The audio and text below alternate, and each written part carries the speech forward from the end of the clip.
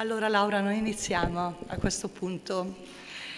E, naturalmente è graditissimo il mio compito di introdurre questo bel libro sui salumi bresciani, la storia e la tecnica, del, la tecnica il gusto, a cura di, Gian, di Gianmichele Portieri e, e di Laura Cottarelli. Ora questo è il quarto volume di una collana eh, a cura della nostra fondazione e del Centro Studi San Martino. Ma siamo fieri perché questo volume è stato in stand-by, si dice, per tanto tempo e solo la, la, grande, la grande, forza e caparbietà, beh diciamo prima delle signore di Laura e poi di Gian Michele l'ho portato così alla fine, ma Devo dire che è una pubblicazione molto bella anche dal punto di vista grafico, piena di elementi, fra cui gli incisi, per saperne di più, che danno davvero una gradevolezza infinita a questo libro. Ora, eh, i contributi, tra l'altro, sono assolutamente interessanti, perché su questo tema poi insomma, si può scivolare anche un po' eh, alcune cose anche un po' kitsch come sono state fatte in passato, invece io credo sia rimasto eh, davvero su un livello ottimo e, e, e, quindi un grazie a tutti coloro che hanno partecipato a questo libro. Io li cito e praticamente non conosco nessuno, ho conosciuto Ugo adesso Bonazza, Luigi Bellini, Mauro Capelloni, Riccardo Contessa, Antonio Felice Fiorentino, Costanzo Gatta, eh, Michele Pasolini, eh, Valerio Pozzi e Silene Orsola Tomasini. Ecco, allora dirò poche cose perché poi i grandi guru di questo argomento sono alla mia sinistra e alla mia destra e quindi per tutto quel che riguarda anche gli aspetti di carattere storico, insomma, storico-sociologico, direi che per tanti aspetti Gian Michele ha, si è preso gli spazi, no? E per quel che riguarda invece poi eh, tanti riferimenti relativi alla DOP, all'ICG o CBGTCC, eccetera, invece il grande autore è, è, è Ugo. Allora, eh, due cose che voi che siete qui saprete, scusate se sarò banale magari, spero di non esserlo, però a Brescia con la parola salame eh, sappiamo che si intende la carne di maiale, quella di altri animali o mista, salata, insaccata in questo budello, no? nel budello dello stesso magari, sottoposta a dei processi di stagionatura. Ora, rimane difficile collocare le origini di questo prodotto, nonostante il nostro amico Gianmichele eh, abbia fatto un grande lavoro su questo, quindi diciamo che la genesi storica c'è tutta, ma ve ne parlerà lui poi in maniera mh, diffusa. Però certo è che è un alimento comparso nella tradizione gastronomica del territorio bresciano in un'epoca davvero remotissima. Eh, quindi quando si parla di, de, de, delle prime tracce andiamo, non so se è giusto quello che dico, credo di sì, però a, agli allevamenti suini di cui si parla nelle cronache di Polibio, ma forse anche più avanti con Varrone, quindi tu dici ancora prima. Eh, poi no, perché guarda, mi è capitato quest'anno Avrei dovuto partecipare ad un convegno sulla carne a Rovato, la storia appunto della, della carne che aveva organizzato Archetti, un convegno internazionale enorme e io avevo un dettaglino da raccontare sulla, sulla letteratura contemporanea alla carne, no? E, e, quindi dopo c'è stato l'anno scorso, poi c'è stata la pandemia, eccetera. Quindi ho sentito tante cose anche su queste date che non sono proprio tutte che collimano della, del discorso del salume, del salame, dell'insaccato nell'antichità. Ora, tutto quello poi che riguarda anche il Medioevo con l'invasione longobarda e l'influenza delle abitudini alimentari nell'Italia padana, portano certamente a modelli economici alimentari diversi da quelli precedenti, da quello romano e così via. Sta di fatto che noi abbiamo questa, per quel che riguarda la conservazione, è, è da lì che si parte, è da lì che si muove tutto. Quindi tutte le sorgenti saline, da Salso Maggiore, Salso Minore, hanno assunto questo ruolo di primaria importanza. Comunque sta di fatto che noi, io credo che sia forse la fonte più importante questo bel capitolare di Carlo Magno che all'inizio del IX secolo eh, dava alcune informazioni sulla conservazione del maiale e delle carni di maiale. Mi piace sottolineare, cosa che ripeto, saprete già tutti perché voi siete tutti mi sa addetti ai lavori, quindi è come venga ritenuto importante dal redattore di questo capitolare eh, da, di questo documento il fatto della pulizia e della lavorazione, intendendo, si presume, non solo l'igiene ma anche la precisione della tecnica.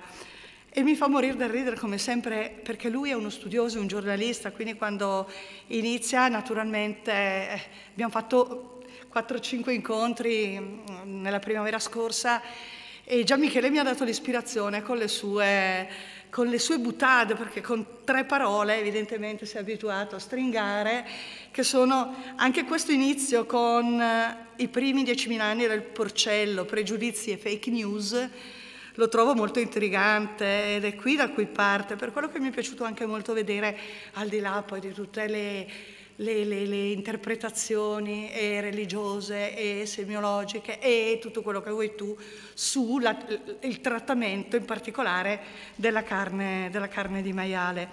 Comunque sta di fatto che un capitolo importante che, a cui voi date anche importanza è quello delle spezie con cui si sistema questa carne eh, soprattutto il pepe, ma anche aromi provenienti dall'Oriente, naturalmente, come cannella, chiodo di garofano, noce moscata, zenzero, cumino, zafferano. E questo mi ricorda un po' anche tutto un discorso letterario che proprio negli stessi periodi confluivano delle, anche il, tutto il discorso sulle fiabe, le favole, pardon, le, le, le fiabe. Dello stesso periodo dove erano stati tradotti anche delle parti delle Mille e una notte, per esempio, Insomma, ci sono tante cose che poi partendo da un discorso come questo, del sociale, collimano anche in altre situazioni, sia di carattere, lo ripeto, letterario, non in senso stretto, magari di una sociologia della letteratura, ma che comunque hanno un loro perché. Le... È un'arte fare, allora il mio dialetto, anche se io sono comuna doc, però vabbè, eh, lo so male, è un'arte fa sol porcel. Fa sol porcel, ma è bello perché mi sembra veramente... Fa sol porcel e, e quindi è, è un'arte che nel bresciano, come scrive la mia amica Anna Bossini, nel bresciano e per i bresciani, mi piace molto perché è molto lirica questa cosa che scrive, per i bresciani il salame è un prodotto di eccellenza, si direbbe quasi legato alla, alla sfera dell'affettività per cui ci si può lasciare andare e dire che ai bresciani il salame non piaccia molto, ma che lo amino con un'implicazione assolutamente viscerale. Per questo eh, alla sua riuscita finale si deve dedicare la massima attenzione. Il primo passo da compiere è la scelta delle carni, naturalmente, magre, coscia, filetto, ma non è vero, perché poi ci sono tante varianti. Carni comunque sempre provenienti dai suini maschi o femmine castrati che devono assolvere alle caratteristiche ottimali del prodotto, accuratamente appunto ripulite e tagliate, mentre il grasso del salame deve essere di consistenza dura, come quello del lardo, della pancetta, ma ripeto, poi su queste cose io non sono proprio una de... Eh, ecco, esatto, assolutamente, assolutamente, assolutamente. Originariamente il salame bresciano aveva una maggiore percentuale di grasso, perché nulla nel maiale doveva essere sprecato. E poi vedremo anche il perché. A partire dagli anni 80 del secolo del Novecento questa percentuale è andata sempre più riducendosi, sino ad arrivare all'impiego di 2 kg su 8 di carne magra. Ecco, prima dell'invenzione del tritacarne, le parti venivano sminuzzate col coltello, infatti il mio, il mio, uno dei miei, devo dire il mio preferito è proprio quello di Montisola, non lo dovrei dire, ma insomma ognuno poi si assume le proprie responsabilità. E, e, i cultori della materia amano ancora, lo sentirete dopo, utilizzare questi strumenti storici come il massette, quel piano concavo di legno e di marmo, in cui si versa l'impasto, viene salato, speziato e rugazzo, ossia lungamente mascolato, e poi fino a far sudare quel povero massadur, elemento che nella tradizione popolare è indispensabile per la riuscita. Quindi tutta la parte del non solo conservare i valori nutrizionali di cui bisogna parlare, perché è importantissimo oggi che viene così demonizzato questo mondo di insaccati, no? Sembra che tutti i mali, non lo so, siano legati agli insaccati o sono tutti allergici, tranne me. Io non ho nessuna allergia, non lo so, infatti si vede, però vabbè, questa è un'altra storia. E cioè l'inseccato, soprattutto oggi come viene trattato, come viene, è un prodotto di assoluta qualità che invece andrebbe rivalorizzato, in particolare proprio i salami. E sempre rifacendomi ad un articolo che avevamo scritto insieme io e Anna, i salumi non sono tutti uguali, la nostra provincia è ricca di insaccati e non, con forme, pesi e stagionature che variano a seconda delle tradizioni delle loro carni e dei loro luoghi d'origine. La pianura e le valli nascondono preparazioni e ricette antiche che vedono protagonisti maiali con pecore, capre, ecce. Nella ricetta tradizionale del salame nostrano bresciano è previsto l'utilizzo di parti nobili del maiale, con appunto l'aggiunta di 25% di pancetta, non lo so, macinata a temperatura di 2 gradi, con la, adesso, adesso, poi andiamo nei bizantinismi, ma quelli se li smazzano questi due signori. Eh? Tutte comunque queste tipologie di preparazione caratteristiche delle diverse zone della nostra provincia rendono unico questo salume rispetto agli altri e tanto da far decidere proprio anche ai comuni, così come si voleva con le deco, eccetera, che mi sembrava una cosa molto intelligente, valorizzare i territori. Eh, alcuni di questi salami sono dei capolavori, il rete di Capriolo, il salame cotto di Quinzano, Deco, e, beh, il salame di Montiso l'ho già citato, la soppressa di Marone, che anche quella è il salame di Alfianello, sono tutti deco, eh, quello di Pozzolengo, eccetera, eccetera. Però io chiudo, chiudo ricordando una cosa, se avete voglia di andare a leggere qualcosa che vi diverta, che è dal punto di vista culturale, letterario, molto bello per la nostra provincia, molto interessante per la nostra provincia e che comunque è una chicca, mi piacerebbe farvi così, eh, rimandarvi al destino del maiale nel Cinquecento secondo El Fleur de Cobiat, che poi voi ritrovate in questo libro a pagina 48. Noi abbiamo fatto un incontro su questo e sulla Massera da Be, appunto, eh, e, e noi ritorniamo lì la storia del Fleur de Cobiat quando decide e racconta questa macellazione, eccetera, lo lo fa, lo fa in un modo davvero assolutamente lirico, letterario e saporitissimo. E a volte anche un po' pieno di quella fuliggine e di, quella, diciamo, di, quel, di quel poco di sporco che forse è l'ingrediente essenziale per tutta la nostra cucina. Prendetemelo con le pinze perché non vorrei mai che qualcuno dicesse ma la Boroni ha detto che quel poco di sporco perché allora i lardi di colonnata, tutte queste cose qui, cioè no.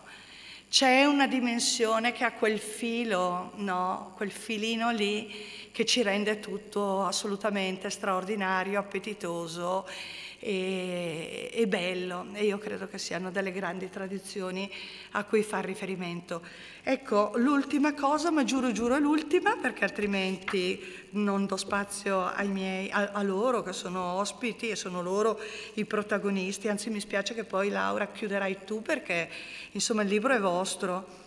Eh, è un libro completo, dalla storia all'economia, all'allevamento, al maiale, cioè dal maiale al salame, che poi è quello più ricco, anche, cioè ricco nel senso che ci sono tanti contributi, e i salumi tipici del bresciano, e quindi io direi che questa è stata una scommessa vinta, eh, voi sapete che era in allegato anche col giornale di Brescia, ma secondo me, come è successo negli ultimi libri editi da Civiltà Bresciana, che non sono molti, sono molto meno rispetto al passato, però è come le dieci giornate di Brescia, fumetti, no? una, addirittura una graphic novel abbiamo fatto sul, sulle dieci giornate di Brescia eh, che ha avuto un grande successo e sono andati esauriti. Io quindi sono contenta e ringrazio tutti voi che avete partecipato, ovviamente eh, Gian Michele perché è una forza della natura, ma questo lo sapete anche voi, e Laura perché è davvero una compagna d'avventure molto molto importante. Grazie. Finito. Grazie. Adesso magari ti smentisco un po', dai, abbi pazienza.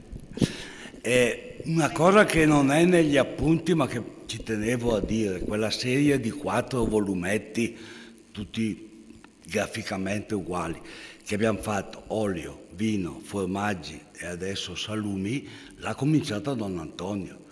E questo va detto perché i primi tre li aveva impostati lui, io sono arrivato dopo a mettere qualche, qualche pezza perché qualcuno lo stava anche un po' imbrogliando. E comunque quello dell'olio per esempio sarà scritto quasi tutto lui, quello del vino un po' meno e quello del formaggio ancora, ancora meno, ma perché l'età ormai aveva già passato i 90 da un pezzo. E, e però questo va, per dire che anche se non è un affresco di Romanino, voglio dire, questa è cultura anche questa, eh? non, e qui, qui, dentro ci sta anche bene. Allora, eh, dove ti volevo smentire, eh, Carla, adesso ti, ti, dico come la vedo io. Eh, dicevo che per fare questo libretto c'è voluta un bel po' di faccia tosta e si è colmato un buco storico informativo della nostra provincia bresciana. Io ho fatto passare la rete, Google, eccetera, non ho trovato niente, c'è solo un libretto sull'uccisione del maiale tradizionale, che sul nostro libro è raccontata meglio, scritto da un collega alcuni anni fa. Ma è un conto raccontare l'albero, avete visto tutti l'albero degli zoccoli, ecco quella procedura lì adesso è vietatissima, tanto per mettere le cose a posto. Il, la faccia tosta è legata al fatto che andando indietro del tempo una vera tradizione salumiera a Brescia non esiste. Tutti i salumi che produciamo, e adesso ne produciamo davvero tanti, non possono dirsi a rigore di tradizione bresciana. Sono stati tutti copiati benissimo, ma dalle altre province. Il prosciutto mica l'abbiamo inventato noi, lo facevano già i Galli al tempo dei Romani e quindi nella pianura padana, ma dopo l'hanno fatto gli Emiliani, mica i Bresciani.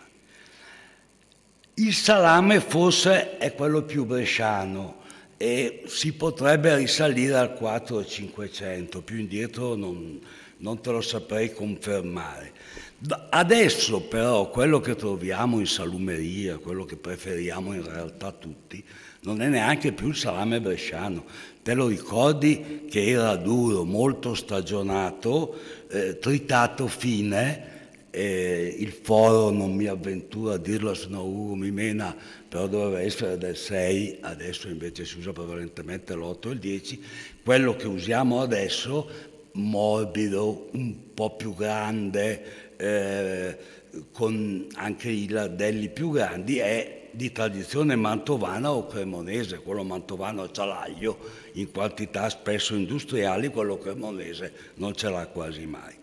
Tra noi, una sera che ci ridevamo su, dico, abbiamo scritto un libro sull'isola che non c'è, perché la salumeria bresciana, t'avete Andrea, ma la che mia però andava colmata la lacuna di un testo completo, storicamente documentato e anche finalmente tecnicamente ineccepibile, perché le favolette sono bravi tutti a raccontarle, poi quando vai a sfogliare i documenti è un po' più dura. Questo è un libro non scritto da me, da Laura Cottarelli, ma fatto a, a 20 mani, perché gli autori sono 10 e sono tutti maestri assaggiatori con tanto di diploma, ma sono anche in molti casi esperti. Quando mi mandavano gli articoli, a me sembrava di sentire, cioè gli articoli di quelli che avevano fatto i corsi di assaggio, letto i libri erano una cosa, ma di quelli che avevano messo la mano nel pestum per impastarlo e infilarlo nel budello per fare il salame veniva fuori dal foglio di carta o, o dalla mail di internet, no? perché alcuni degli autori il salame lo fanno davvero.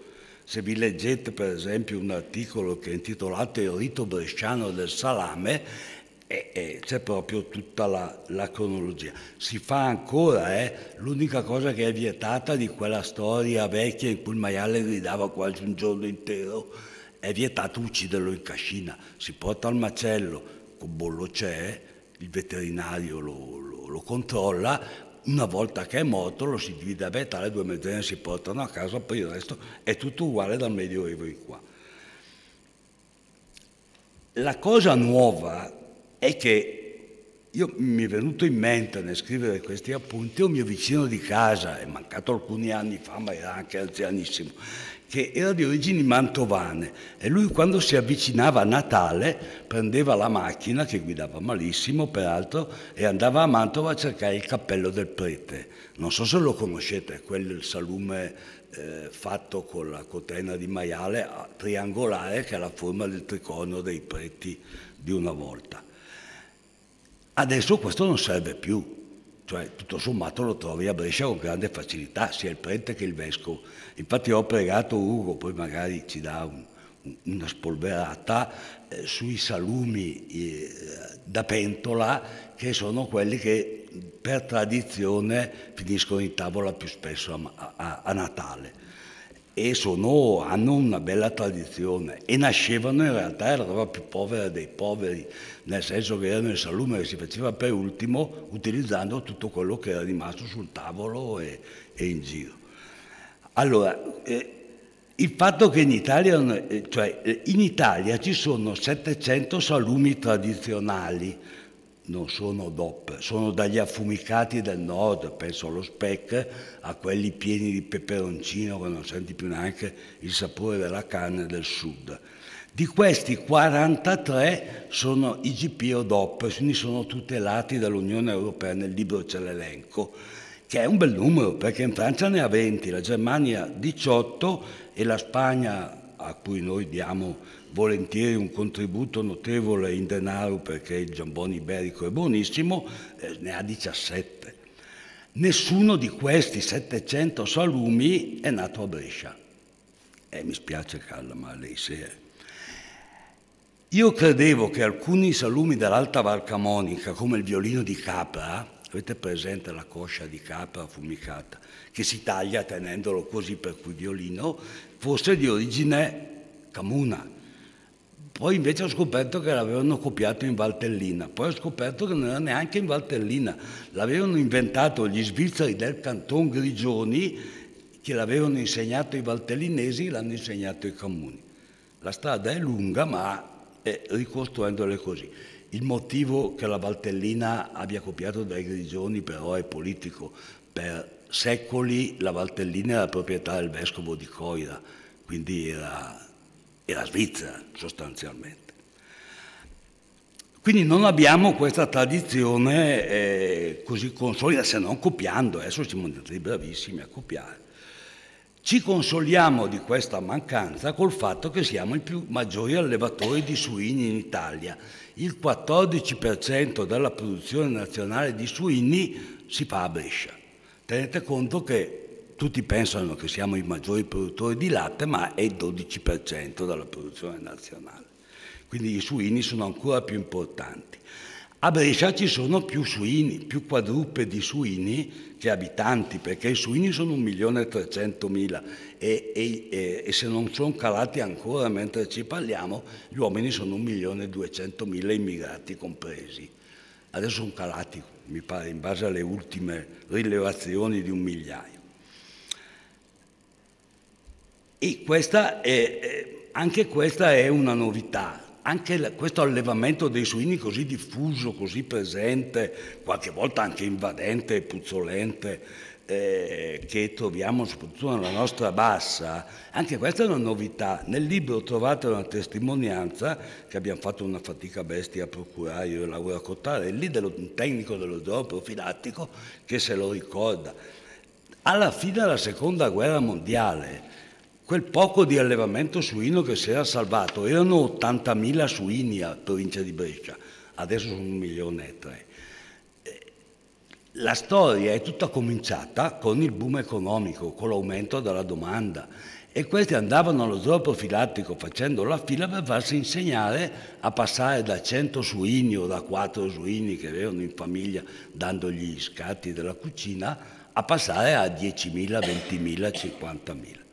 Hanno imparato benissimo ed è secondo me anche una bella dimostrazione eh, che eh, seguire la scienza non è proprio così sciocco come qualcuno Novax cerca di farci credere. Questi sono andati da, que- da quelli del dopo Filadio, erano degli scienziati, qualcuno è ancora vivo anche se anziano, e, e si sono fatti insegnare da, da chi sapeva e l'hanno imparato benissimo.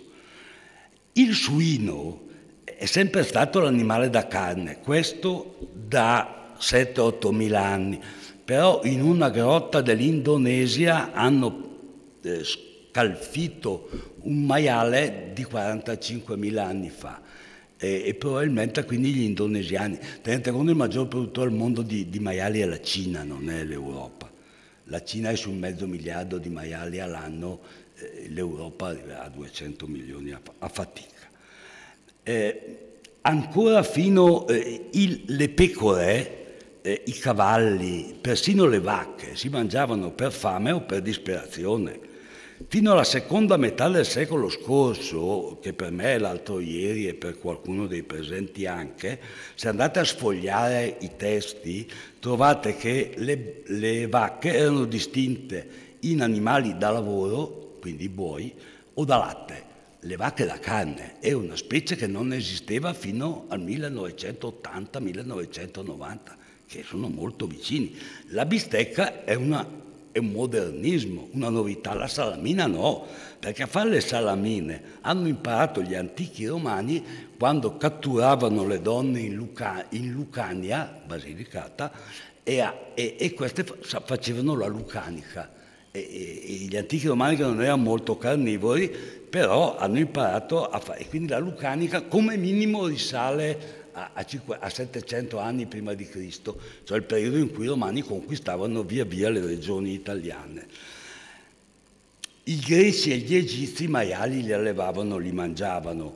Eh, ho trovato, e mi sono anche molto divertito a riprodurlo nel libro, il tratto dell'Odissea dove viene descritto l'allevamento di suini del porcaro Eumero che era quello fedelissimo a Ulisse. Quello che è buffo è che aveva fatto quello che in Val Camonica chiamerebbero un barek, in cui metteva dentro i, suini la sera e, di giorno li mandava in giro a pascolare.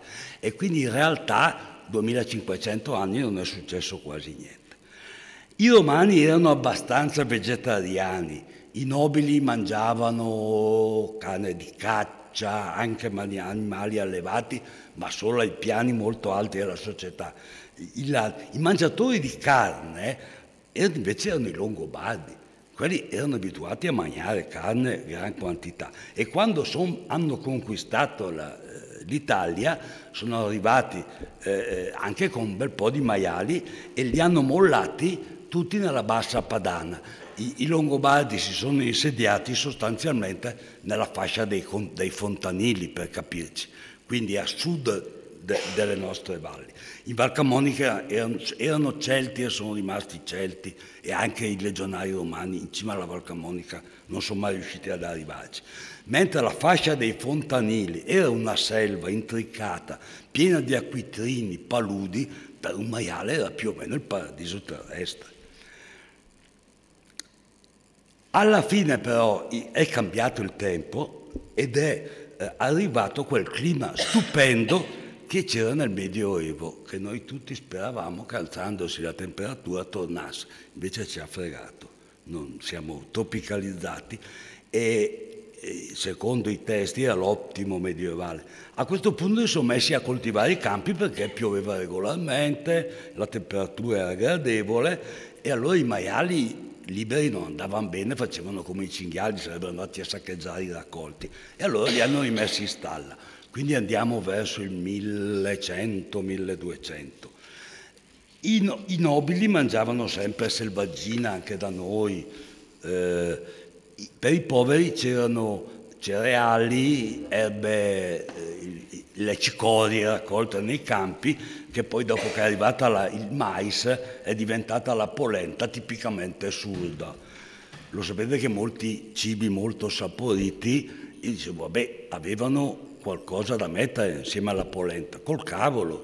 La, la, carne salata o la ringa essiccata si vedeva in mezzo al tavolo, la polenta ci passava in parte, prendeva un po' di profumo, poi quello che andava giù nello stomaco era polenta assurda. Il consumo di carne esplode dopo le due guerre, dopo gli anni 50. Volevo dirvi che nel libro non ci siamo dimenticati delle tradizioni, dei massadur che giravano per le cascine alle prime nebbie di novembre, ci sono ancora, e anche del rito bresciano dell'uccisione del maiale che abbiamo un po' addomesticato francamente, perché raccontato così come era davvero era un po' bieco. Eh, abbiamo anche messo, la citava prima Carla, la testimonianza del poemetto di Galeazzo degli Orzi, che è diventato eh, la celeberrima commedia in bresciano La Massera da Bene.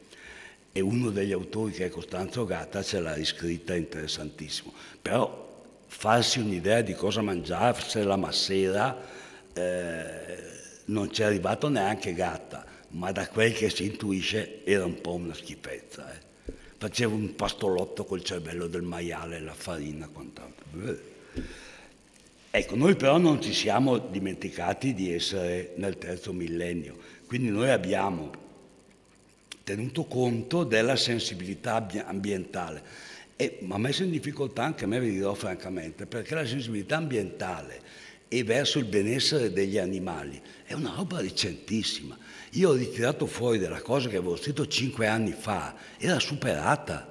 E infatti mi hanno tirato le orecchie alcuni amici che sono qua tra gli autori del libro dicendo ma no però eh, non...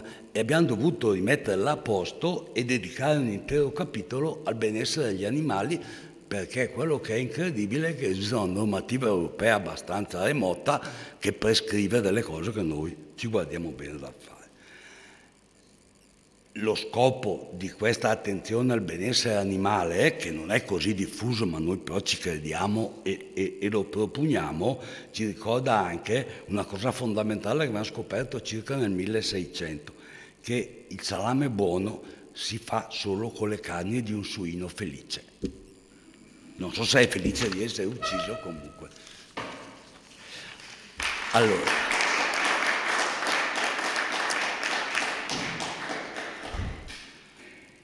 Ugo.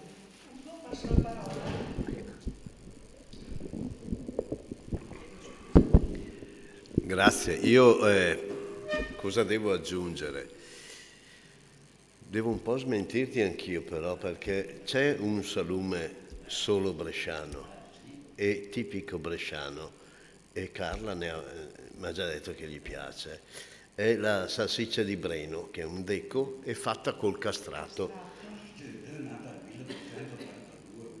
Eh, ho capito che è nata nel 1800. No, no, no, no, no, però diciamo è, ha solo 200 anni di storia, poco meno, però insomma ci sono tanti salumi, tante DOP italiane che non hanno 200 anni di storia. Mm, quindi mm, diciamo che abbiamo anche un qualche salume, un salume tipico eh, bresciano. Noi bresciani cosa abbiamo fatto? Ci siamo trovati lì sempre un sacco di maiali, possibilità di allevarli perché avevamo l'ambiente. Era classico che in ogni famiglia ci fosse il maiale, era il bambino aggiunto perché mangiava quello che non mangiavano gli altri, cioè già si mangiava poco e i maiali probabilmente mangiavano pochi. Io ricordo mia madre che mi diceva che da bambina andava a pascolare il maiale a pascolare la porca sul mella. e questo è già, cioè, è preistoria, mia mamma era del 25, quindi penso nel 35, cose del genere, perché ha fatto la quarta elementare, perché la quinta non era ancora arrivata a Cigole, io sono della Bassa Bresciana, e eh, si andava a pascolare la porca, perché così sulle rive del Mela, dove c'era l'erba, e, eh, il maiale grufolava e cercava qualcosa in mezzo a, a a, ste erba, una qualche radice, un qualche, qualcosa da mangiare. E quindi eh, il maiale era trattato molto bene perché era poi quasi l'unica carne che si mangiava. Perché dopo, come diceva prima Gian Michele, le bestie non si uccidevano, cioè le vacche si usavano per il latte, i buoi si usavano per trainare i carri o, o gli aratri. E mio nonno era, mi diceva, io ero a capo dei buoi, cioè lui era quello che eh, guidava i buoi, quindi era la, la persona importante perché questi animali che mio nonno era alto 1,50 pesava 30 kg quando aveva sul cappotto bagnato, dicevo come facevi a tenere quegli animali lì, no no bisogna saperli tenere e io lo facevo. E appunto la carne che veniva consumata dalle nostre parti era il maiale si conservava, si faceva il salame, si faceva il salame ma non perché non volessimo fare il prosciutto, perché il prosciutto non si conservava, perché non avevamo il clima per fare il prosciutto. Non a caso il prosciutto veniva, viene fatto, ancora adesso le DOP italiane sono in determinati territori. Per carità, adesso con le celle potremmo fare il prosciutto in tutta Italia senza nessunissimo problema, perché abbiamo temperatura controllata, umidità, eh, ventilazione, tutto ciò che serve per fare un salume lo possiamo costruire. Eh, cos'è che manca? Manca il microclima, manca quello che ti dà la terra, mancano i batteri lattici, mancano i lieviti, manca la storia, manca il territorio. Possiamo costruire qualcosa ma non abbiamo il territorio. La differenza tra i prodotti italiani e il resto del mondo è che noi abbiamo un territorio che è unico. Noi abbiamo così tante differenze perché abbiamo, ogni paese ha le sue eccellenze. Vuol dire che tra Cigole e Pavone c'era la guerra chi faceva il salame più buono, ma non solo tra Cigole e Pavone, ma anche tra San Gervasio eh, eh, e tutti i paesi lì intorno, tra Alboino, Manerbio. Eh, erano, si sente che il salame non è di Cigole si sente che il salame è della Val Camonica e non della Bassa. Noi maestri assaggiatori ONAS, devo dire che eh, ONAS, per chi non lo sapesse, è l'Organizzazione Nazionale di Assaggiatori di Salumi e si diventa assaggiatori, cioè tecnici assaggiatori e maestri assaggiatori attraverso dei corsi, che poi uno partirà a gennaio, ma semmai alla fine ve lo racconto. E noi maestri assaggiatori e tecnici assaggiatori in provincia di Brescia facciamo tutta una serie di giurie, Valcamonica, Bassa Bresciana occidentale, Bassa Bresciana orientale, Bassa Bresciana centrale, eh, Valtrompia e Bassa Bresciana un po' più spostata, Abbiamo, facciamo sei giurie tutti gli anni di tutto il territorio, partendo da Pozzolengo, dove abbiamo una deco nostra bresciana eh, molto importante, con un'identificazione specifica. E noi, attraverso l'assaggio, noi riconosciamo il territorio attraverso il gusto del salame. C'è qualcuno, perché devi dire, eh, devi, dico sempre, ci sono i furbetti del quartierino, perché poi noi di solito siamo oh, che de bresso che capiscono niente, abituati a mangiare saran de bottega. Eh, e invece mangiamo più spesso salami fatti in casa oppure fatti da piccole eh, realtà, da macellai o piccoli salumifici che lavorano in maniera straordinaria, perché fare il salame in casa adesso è diventato molto difficile. Eh, il clima è cambiato, quindi adesso abbiamo bisogno di armadi frigoriferi. armadi di stagionatura per riuscire a far fermentare il salame. Per chi non lo sapesse, il salame è un salume fermentato. Dico, ma fermenta il salame? Ma no, no, no, il salame fermenta e se non fermenta va a male. Ma noi attraverso le nostre giurie, noi tutti gli anni siamo aggiornati su come sta andando il salame bresciano in tutte le loro sfaccettature. Adesso, un anno abbiamo fatto, è la stagione adesso, cioè adesso mi viene voglia di parlare di salami, ma adesso comincia a venirmi l'acquolina in bocca perché sto pensando a, ai salumi cotti, come diceva già Michele, i salumi cotti che anche qui in provincia di Brescia ogni territorio ha i suoi, perché partiamo dall'Onato dove c'è l'os de stomach, che è una deco, però fatto in vescica, mh, pezzi da un chilo, un chilo e mezzo, quindi roba importante con dentro questi pezzi di osso, però eh, ci spostiamo di un qualche chilometro, non tanti, eh, una decina di chilometri, e l'os del stomaco non viene più fatto in vescica, ma viene fatto nel budello grosso, nella manica, dove viene lasciato il pezzo di osso, viene lasciato intero e centrale, in maniera che possa stagionare in maniera diversa e viene stagionato a lungo eh, sono quei salumi che venivano mangiati quando veniva poi eh, finito di, di, raccogliere il grano, si faceva festa. Erano salumi salati perché dopo 6-7 mesi, fate conto che questi sono i giorni del maiale, cioè, quest'anno col clima che c'è stato nessuno ha fatto il maiale prima dell'8 dicembre nessuno di quelli che fanno ancora il maiale in casa ha fatto il maiale ai morti. Una volta si cominciava con i morti, adesso si fa l'8 dicembre, comincia ad esserci un clima freddo a sufficienza per far sì che la lavorazione del salame venga in maniera adeguata. Ma poi ci spostiamo sui salumi cotti. Il prete, io ricordo, io ho avuto una salumeria in Piazza del Mercato, visto che siamo qui in centro, per cinque anni. Eh, eh, ma io ricordo nel 1990 quante salumerie c'erano in Brescia e quante beccherie eh, dove c'erano quelli specializzati in salumi. Qui in via San Faustino ce n'erano tre o quattro che vedevi sempre appesi i, i famosi preti che dicevi te, o vescovo perché vengono chiamati vescovo o prete, questi triangoli di, mm, che io, bassaiolo, dicevo ma che roba è quella lì? eh, l'impasto del cotechino viene cucito nella cotenna. Oh, ma no, a Cigolo non facciamo mica quelle robe qui, a Cigolo si mangia il cotechino, eh, eh, a Cigole è il salame più buono del mondo è di Cigole, perché eh, sono nato lì, è il territorio che mi richiama, io quando assaggio un prodotto della bassa bresciana, io torno indietro con la memoria.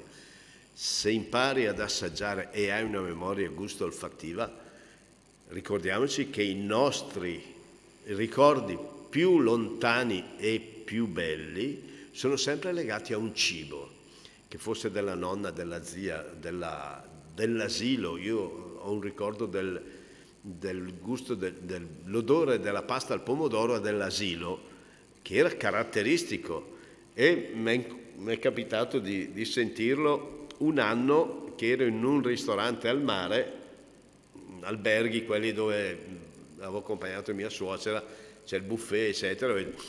Odore, chi, c'è qui la mia cuoca dell'asilo, perché c'è l'odore, ma figurati, no, io, cioè, io memoria e gusto olfattiva, mh, devo dire, ce l'ho spiccata da sempre, anche perché ho sempre mangiato bene.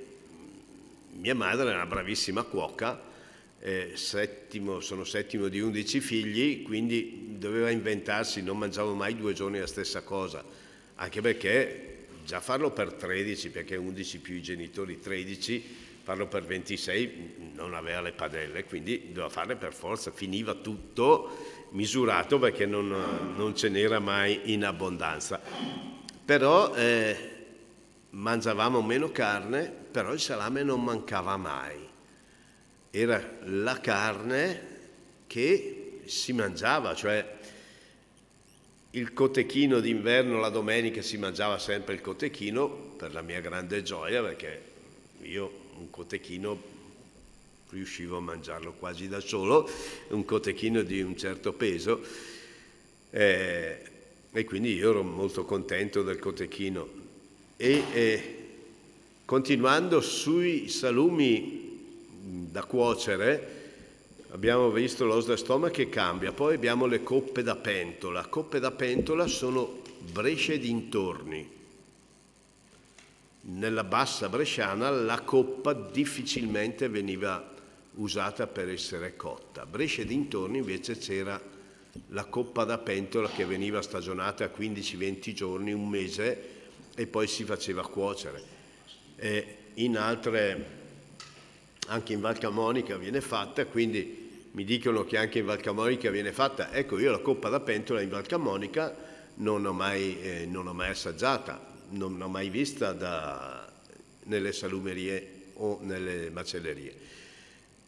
In Val Camonica abbiamo tanti salumi copiati o meno dai, dagli svizzeri o da, dai valtellinesi, però abbiamo, è la, la, valle che ha più varietà di salumi, perché abbiamo la, la, la salsiccia del castrato di Breno, abbiamo il salame, tant'è che secondo me la, la, Val, Camonica potrebbe essere l'unica zona della provincia di Brescia potrebbe fare un, una DECO, un IGT, perché ha gli spazi per, e una caratteristica sul loro salame, hanno una caratteristica ben definita da quando finisce il lago, di, il lago di Iseo, arrivare a, al tonale, abbiamo un sentore, un, dei, dei sapori che riuniscono tutti i salami della Val, della Val Camonica. Sono ormai eh, sette anni che facciamo giuria in Val Camonica, l'abbiamo fatta anche in due posti diversi, una nella bassa e una nell'alta, ma l'impronta della Val Camonica c'è. È tutta eh, una questione proprio di territorio. E lì, come nel Silter, che è il formaggio, la DOP, che è una DOP, e si fa dalla bassa all'alta Val Camonica, anche il salame potrebbe essere prodotto in Val Camonica con una DOP. Dopo qui bisogna che si muovano un po' le, le, gli enti vari, la, la, la, comunità montana, eccetera, che devo dire ci dà sempre disponibilità, sempre, crea sempre il concorso e questo vuol dire arrivare a fare una qualità quando la gente si mette in gioco, perché ci sono produttori, macellai e eh, piccoli allevatori che poi trasformano aziende agricole e poi ci sono anche i privati che vengono io e lui abbiamo fatto lo stesso maiale, però lui lo porta a casa sua e lo porta a casa mia. Vogliamo vedere com'è classificato. Avevano due punti di differenza, ho detto si vede che è lo stesso maiale, ma allora siete bravi, mi fa. Vabbè, insomma, cerchiamo di fare il nostro meglio, cioè, cerchiamo di capirci un po'. Eh, sui salumi cotti, un'altra cosa che poi eh, che abbiamo come caratteristica, abbiamo il quinzano, il salame di quinzano che si fa sia cotto che crudo. Ma a differenza che adesso vai in, in bottega, in salumeria oppure eh, al banco dei freschi e dici c'è il salame da pentola e il salame da taglio. Il salame di quinzano no, c'è il salame di quinzano che nei primi 40 giorni va cotto, dopo i 40 giorni si può usare da taglio. Questo cosa vuol dire? Vuol dire che si fa un salame di alta qualità, anche perché viene fatto sempre con eh, maiali di razza antica, cioè mora romagnola, cinta senese, eh, il nero dei Nebrodi, eh, eccetera, o il nero di Parma. L'importante è che sia una razza antica, quindi abbiamo salami di altissima qualità in provincia di Brescia e, eh, e sono cose importanti. E tra l'altro anche cotto, qui eh, nasceva, era nata una volta la discussione con la, la nostra vecchia presidente, cioè vecchia nel senso la nostra fu presidente eh, Bianca Piovano che è stata l'anima del, dell'ONAS, per, eh, che lei è abituata col salame piemontese cotto, che il salame piemontese è, ha una circonferenza, cioè ha un diametro di 12-13 cm e è parecchio grasso perché viene fatto solo unicamente cotto. È un salume che trovi in tutte le salumerie, il salame cotto piemontese. perché poi fanno il salame crudo piemontese, ma un'altra cosa. Vedi, gli ho detto la differenza è che noi il salame di Quinzano è lo stesso salame, quindi tende a essere un po' più asciutto, ma per me che sono bresciano della Bassa, dove il salame fresco si fa cuocere, è con grande attenzione ai tempi e alle temperature di sobbollire piano e non superare la mezz'ora di tempo perché dopo diventa asciutto, ma rimane succulenza, ma una succulenza piacevolissima, eh, di una dolcezza, sembra di mangiare un prosciutto perché si sta usando un salame di altissima qualità, carni di alta qualità, quindi abbiamo dei prodotti di ottima qualità.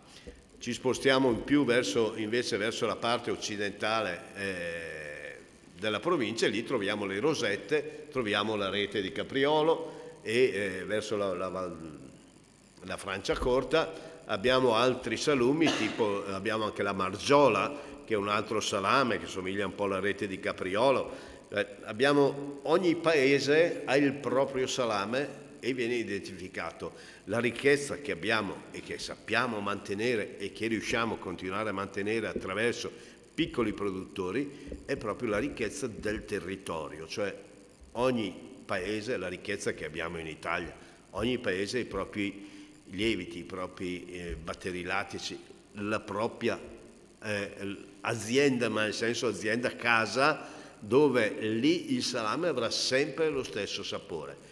Se io il mio salame, io ho sempre fatto il salame da mio nonno, poi è mancato il nonno, sono andato da mia nonna il salame era cambiato abitavano a 200 metri di distanza, sempre a Cigole, però mancava qualcosa. Erano due case diverse. Mio nonno abitava nella Filanda dove insomma, crescevano i bacchi da seta ai tempi eh, eh del, del, prima de, della prima guerra, cioè da, della, prima della seconda guerra, e quindi eh, mia, mia nonna commerciante, quindi era sempre stata la casa commerciale, quindi non c'era mai stato dentro niente di agricolo, eccetera. Invece in casa di mio nonno andavi là, c'erano tutti gli attrezzi per fare il contadino, perché mio nonno era eh, il contadino.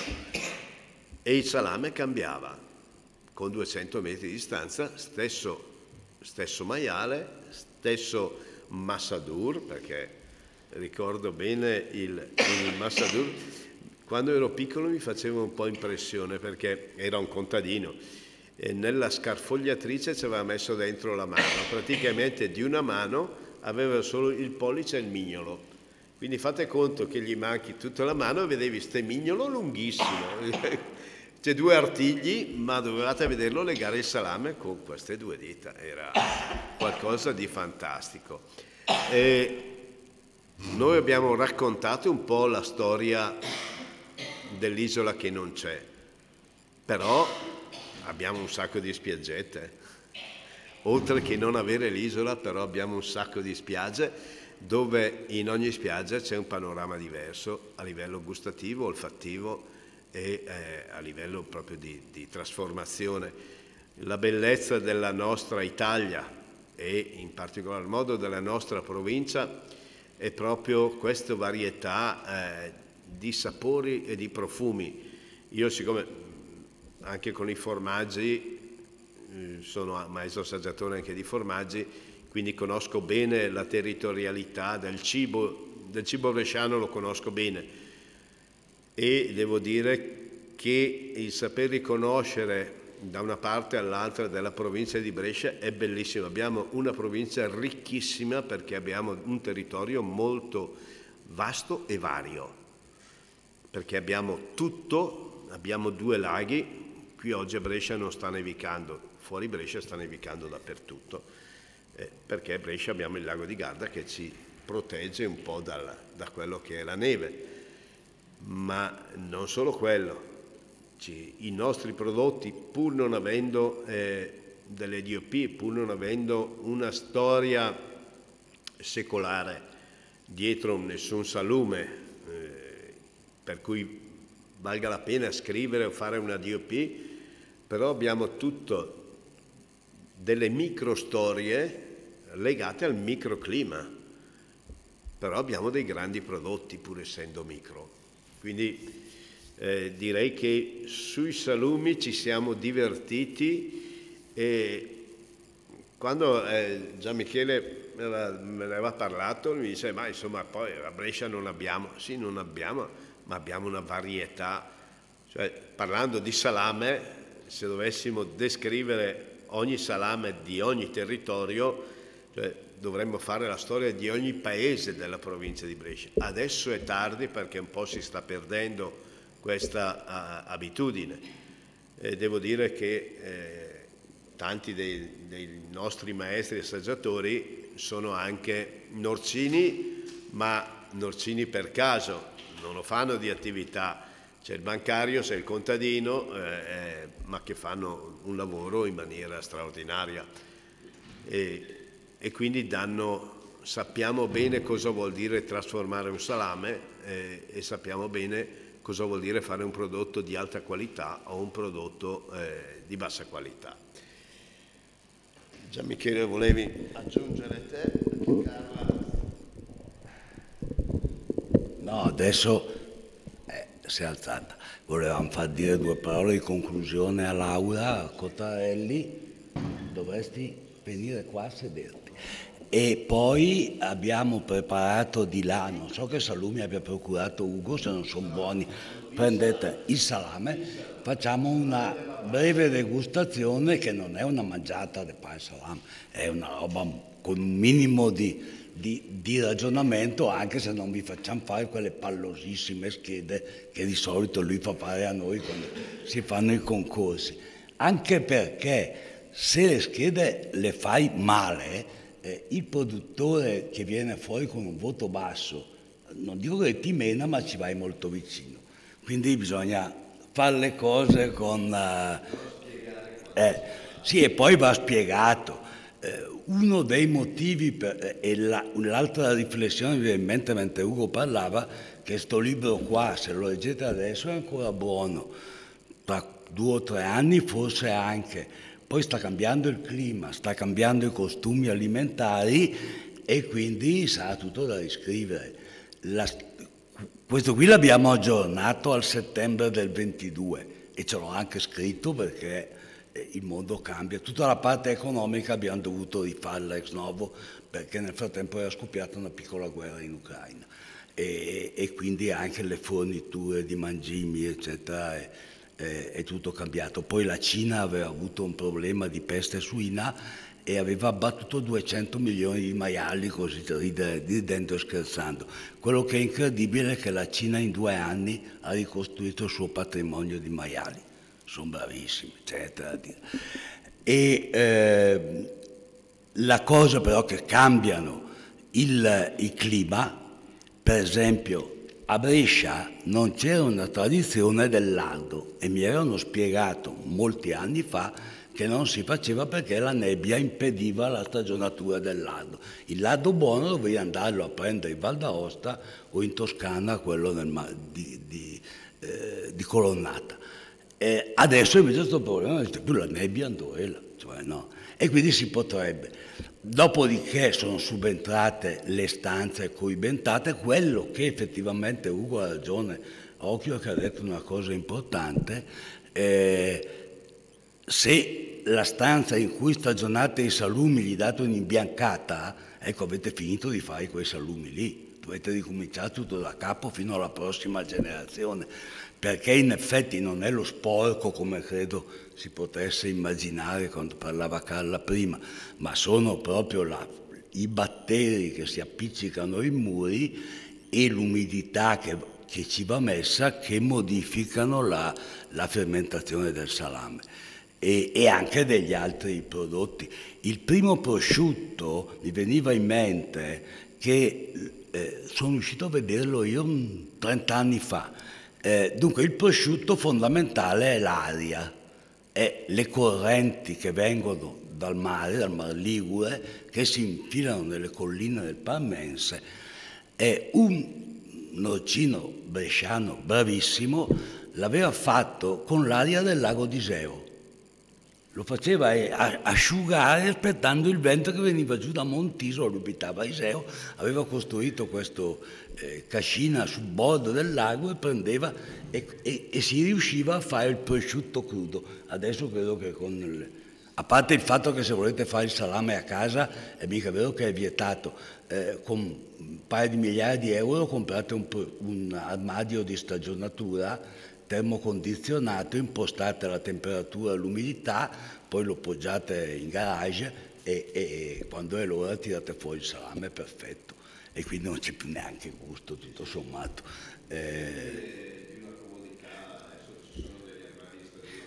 e, e, il salame di Montisola che era tradizionalmente tagliato a coltello mi spiace dare un dispiacere a Carla, ma il taglio a coltello della carne di maiale si fa con una macchinetta elettrica con 5 o 6 lame che assomigliano a coltelli che girando vorticosamente ti restituisce la carne tagliata a coltello. Non c'è più il tizio con la manina che come c'era ai tempi che raccontava Ugo prima. Eh, Laura? Sì, io come avete sentito dalla professoressa Boroni, da Gian Michele Portieri, Ugo Bonazza, è sicuramente Qua, qua, tieni, tieni. Argomento molto gustoso e interessante e personalmente io voglio ringraziare la professoressa Boroni, eh, Gian Michele Portieri che oltre autore è anche curatore del libro, Ugo Bonazza e tutti gli autori che hanno partecipato a questa avventura un po' roccambolesca, un po' lunga, la pazienza che hanno avuto. Il risultato però è a mio modesto parere, sicuramente molto positivo, colma effettivamente, come diceva Portieri, una lacuna nel panorama editoriale anche bresciano e se è pur vero che molto probabilmente c'è stata una bambassa di questi libri col giornale di Brescia, siccome non siete in tantissimi, se volete qualche copia possiamo anche recuperarvela. Io però eh, mi fermo qua perché... Ce ne sono 40 se vuoi. Va bene, benissimo, benissimo. Eh, mi fermo qua perché io voglio sentire la lezione di degustazione di, del, del, maestro assaggiatore Bonazza e ehm, una cosa, la, eh, il libro tratta anche degli aspetti degustativo-olfattivi di questi salumi. Non ci sono ricette. Grazie. La degustazione la facciamo nella sala di là perché volevamo farla qua fuori ma è gelido. Esatto. Andiamo in biblioteca in mezzo alle vecchie case. Esatto, io vi chiedo scusa perché reduce probabilmente da una bronchitona e continuo ad avere questi attacchi di tosse e vi ho anche disturbato durante. Però di là c'è la degustazione e inoltre avevo qualche domanda anche da fare ai miei, ai miei, interlocutori, però niente, faremo una seconda puntata. Grazie a tutti e niente, divulghiamolo questo libro perché è molto bello. Buona, giornata, buona serata, che continua di là.